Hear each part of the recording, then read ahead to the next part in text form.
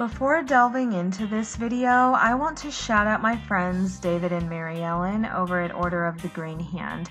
They very graciously retweeted my Melisandre death theory video, and because of that, the video got way more views than it would have otherwise, and I'm extremely grateful to them. I'm sure all of you are already subscribed to their channel, but on the off chance you aren't, get subscribed. They put out some of the best content on YouTube, you won't regret it. In a previous video, I explored the idea that Cersei's faith in Qyburn could be misplaced and that we could see him betray her. In that video, I postulated that Qyburn could be loyal to another His Grace, Robb Stark or Oberyn Martell, and that Qyburn is biding his time until the most opportune moment to get justice for the one he's truly loyal to and that Qyburn might have entered into an alliance with Varys to achieve his goal of justice. Season 8 has only deepened my suspicions. In episode 1, we saw Qyburn recruit Bronn on Cersei's behalf to murder Tyrion and or Jaime should they survive the battle at Winterfell. And Bronn is to rid Cersei of her brothers by way of a crossbow on account of her keen sense of poetic justice. For the successful completion of his task, Cersei will reward Bronn beyond his wildest dreams, according to Qyburn. The scene ends with Qyburn exiting the room and Bronn staring at the crossbow contemplatively. Now, you could look at this scenario and determine something like this would be right up Cersei's alley. The way she killed Tyene was quite poetic, and wanting her brothers dead isn't shocking. She's wanted Tyrion dead since he was born, and Jaime has now left her to fight alongside her enemies, albeit in a different war, not the war against her. But Cersei wouldn't see it that way. If you aren't with her, you're against her. No exceptions. Despite all that, Cersei hiring Bronn seems strange. Just last season, in episode 5, Cersei wanted Jaime to punish Bronn for arranging the meeting with Tyrion. In fact, Cersei's exact words were, Are you going to punish him? And when Jaime asked who she was talking about, she said, Bronn. He betrayed you. He set up a meeting without your knowledge or consent. So we're to believe that Cersei now wants to do deals with that guy? We're to believe that Cersei is entrusting a task of such high magnitude to someone she considers untrustworthy, someone she wanted punished for lying? That doesn't make sense to me. Not to mention the fact that Cersei had the chance to murder both Tyrion and Jaime in season 7 but chose not to. If she wanted them dead, why not have done it then while she's there to witness the murders and ensure they're completed and there's no one that can run interference? No, we're to believe she'd rely on a sellsword she doesn't trust to execute her brothers away from King's Landing where she can't verify Bronn actually did anything. That sort of decision making is what will screw Cersei over with regards to Davos in the books. There, she ceded Davos's execution to Wyman Manderly instead of having Davos sent to King's Landing for Sir Ilyn to kill. Lord Wyman killed someone else in Davos's stead and sent Davos to get Rickon Stark and Shaggy Dog and smuggle them back into Wyman's custody so he, Wyman, can thwart Roose Bolton, the Lannister appointed Warden of the North. Show Cersei is far too shrewd to make that type of mistake, especially since she is making it a point to think as her father would in order to defeat Dany. Moreover, I don't think Cersei is involved here, at least not knowingly. I have a suspicion that Qyburn set Cersei up and hired Bronn of his own volition, knowing full well that Bronn would never do what Qyburn had asked him to. That Bronn even arranged the meeting between Tyrion and Jaime shows he's loyal to both Lannister brothers. Not to mention the fact that Bronn has remained in Jaime's service, despite the fact that he hasn't really been getting paid and in fact has had things rescinded. Qyburn would know all of this. Working off my suspicion, I would say Qyburn's intent wasn't for Bronn to use the crossbow for murder. It was to be used as a tool to sow division. I think Qyburn expects Bronn to expose the murder for hire, and in so doing, strip Cersei of the last ally she has left, Jaime. And no, I don't count Euron as an ally because Euron's only ally is Euron. Without Jaime, Cersei would be at her most vulnerable, and thus would be the opportune moment Qyburn has been waiting for, allegedly.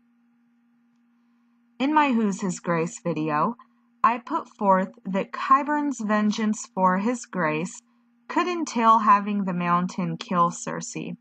I still think that's a possibility. However, in light of the scene with Bronn, I wonder if Qyburn was hoping the murder for hire plot would be an impetus for one of Cersei's brothers to kill her. Or at minimum, he wouldn't be mad if it was an unintended consequence. Allegedly. If all of this is true, something else needs addressing the Varys factor. In my Who's His Grace video, I noted that a Qyburn Varys alliance may well exist. The choice of a crossbow for a murder weapon for the sake of poetic justice connects to the books and Varys. In the A Dance with Dragons epilogue, Varys uses a crossbow to murder Kevan Lannister because Tywin was murdered with one. In fact, Varys's exact words on the matter are I thought the crossbow fitting. You shared so much with Lord Tywin, why not that? Additionally, as I predicted could be the case with the show, Varys was using the crossbow to sow discord amongst people to make someone else's conquest easier. Here's that quote. I thought the crossbow fitting. You shared so much with Lord Tywin, why not that? Your niece will think the Tyrells had you murdered, mayhaps with the connivance of the imp. The Tyrells will suspect her. Someone somewhere will find a way to blame the Dornishmen. Doubt, division, and mistrust will eat the very ground beneath your boy king whilst Aegon raises his banner above Storm's End and the lords of the realm gather round him. So, because a Qyburn-Varys alliance might exist, and because of Varys's connection to crossbows being used to murder Lannisters, I wonder if Varys is pulling the strings and instructed Qyburn to put the contract on Jaime and Tyrion, utilizing a hitman he knows won't complete the job to eat the ground beneath Cersei to reprime Westeros for Dany's conquest, which would square with Qyburn's alleged desire for vengeance in the name of his grace Robb Stark, whose enemy would be Cersei. Now, I realize that at this point in the book or at in the books, it's an actual murder that will sow the discord, but in the show, a full blown murder at this stage isn't necessary to achieve the desired goal, although I suppose it wouldn't hurt. The plot itself will suffice. As I touched on earlier, an unintended consequence of the plot could be one of the brothers killing Cersei, which is just as well if Qyburn and Varys' ultimate endgame is Cersei's destruction. I wouldn't be opposed to that outcome, especially if Jaime was the brother in question. It would bring his scorn for Tyrion killing Tywin full circle, because now Jaime would understand what it's like to have no other recourse but murder, because someone, a family member, will never stop trying to kill you. And we know persistence is a trait Cersei inherited from Lord Tywin, so ain't no way she's ever gonna stop. I wouldn't even be mad if Jaime used the crossbow because the show left the Valonqar prophecy out of Maggie the Frog's scene. Maybe even, as a nod to the books, Jaime shoots Cersei with the crossbow and says, I thought the crossbow fitting. You had so much in common with father, why not that? Granted, his having one hand might prevent him from utilizing the crossbow, and he may just choke her out with one of the chains on her dress or something. Either way, the dynamic with Tyrion would be brought full circle and Qyburn and Varys' ultimate goal would be met. Although I'm inclined to think Qyburn would want to be more directly involved due to the vengeance he wants for Robb, allegedly. Speaking of Qyburn, it's possible that he too may have a keen sense of poetic justice, which could have inspired the choice to use a crossbow.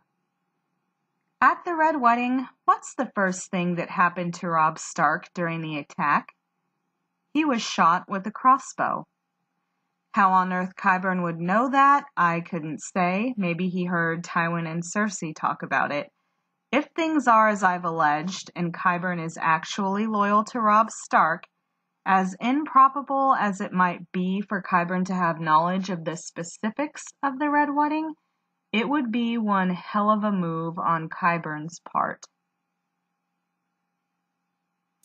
Once again, this is all alleged. We don't know that Qyburn is loyal to Robb Stark, though I happen to think he could be. We don't know if an alliance with Varys exists, or if they're both independently working towards Cersei's downfall. But what I do know is Cersei wanting to work with Bronn makes no sense. So it wouldn't surprise me if Qyburn enlisting Bronn in the hit on Jaime and Tyrion was done on his own accord. What do you guys think though? Is Qyburn scheming against Cersei here? Did Cersei hire Bronn? Could Varys be involved? Let us know down in the comments. And as always, like and subscribe for more content. I'm Ashley of Naath. Thank you for watching.